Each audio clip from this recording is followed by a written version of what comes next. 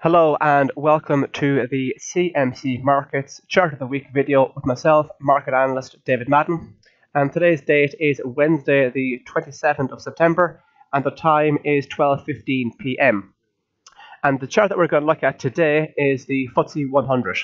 Um, taking a quick look at the kind of broader shape of the chart and the broader moves we've seen on the chart over the last 10 months. From November last year, it's been broadly speaking a, a fairly decent push higher on the FTSE 100. It rallied from late 2016 uh, all the way through 2017 for the first half of the year, culminating with an, uh, reaching a record high, all-time high in June of this year. But since June, we have been pushing lower, and we're currently trading at 7,384, and we're in a, a price area which is quite significant. And it's significant because the 7,300 area was a significant support during the summer, and we're also nearing the 200-day moving average at 7,330. Notice how in the summertime, as the market was drifting lower, uh, we did manage to find some find support in around the 7,300 level. We found it uh, as a support, uh, at 7,300. It acted as support in in in uh, in June, July, and August, and then when it finally smashed through that level, uh, decisively in, se- in September of this year, it also took out the 200 day moving average. Now, as you can see from mid September until now, we have seen the price push higher. And if you look at the momentum indicator, you can also notice that negative momentum is declining. So when the price is pushing high, when the price and the momentum are pushing in the same direction, you can then become more confident that the move is going to continue. It's only when we have a large divergence between the two that could be a sign that the price movement could potentially be coming to an end. So we're currently trading at 7,308, so we're just north of the 7,300 level. We're eyeing up the 200-day moving average, which comes into play at 7,330. Should we clear that level, 7,330, that would, that would that would be a bullish indicator, seeing as the 200-day moving average is deemed to be quite an important metric uh, in the financial markets. If the market's north of its two, if it's 200 day moving average, that's seen as, as quite bullish, and if it's south of it, that's seen to be bearish.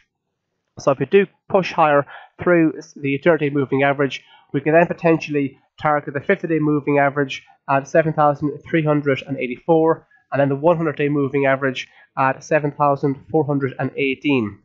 North of those north of, the, of those metrics, uh, the next level to potentially watch out for will be the September high at 7,461.